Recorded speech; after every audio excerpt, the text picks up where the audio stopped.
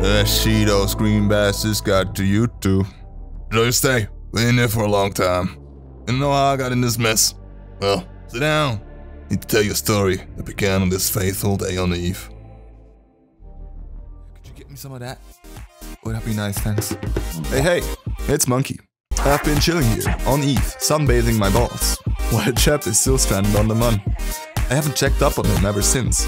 Been an unfortunate accident. Probably wasn't too good for his well-being. Been a year. He'll be fine. Now I should probably explain how all this happened. It all started off humble. Met this guy named Jeb.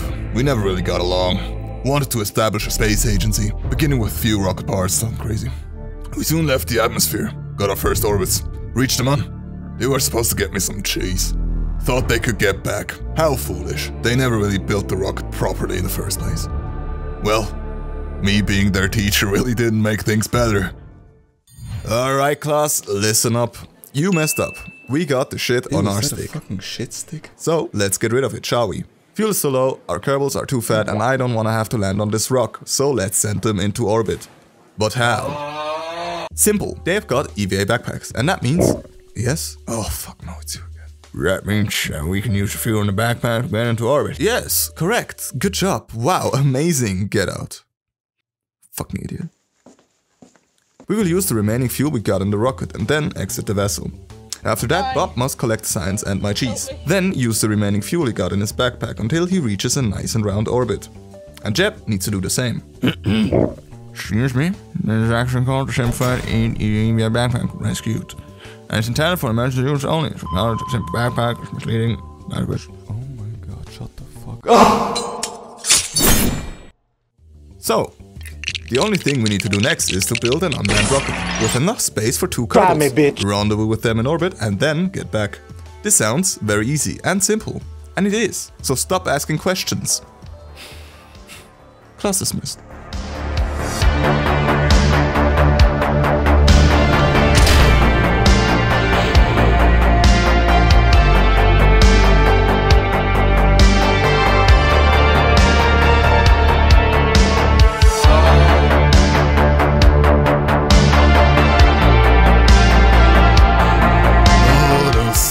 Times. We were still young, had our whole lives in front of us.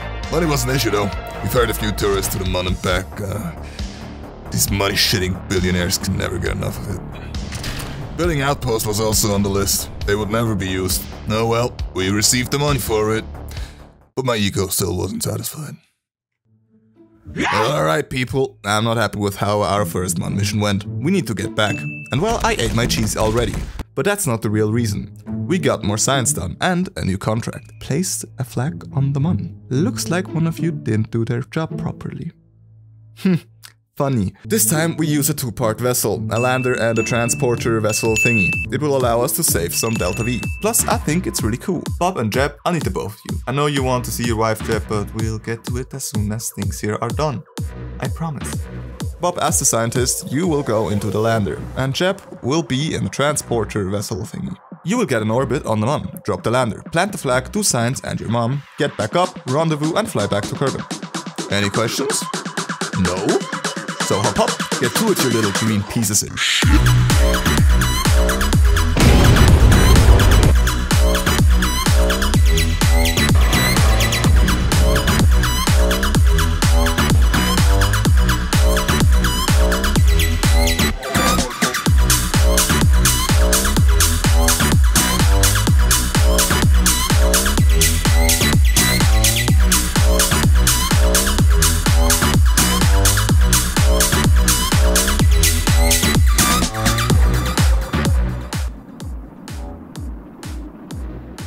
Hello again. Thank you for watching this video. Don't forget to like and subscribe if you enjoyed it. I will do the rest of this little saga of this little video while I'm in vacation on my laptop.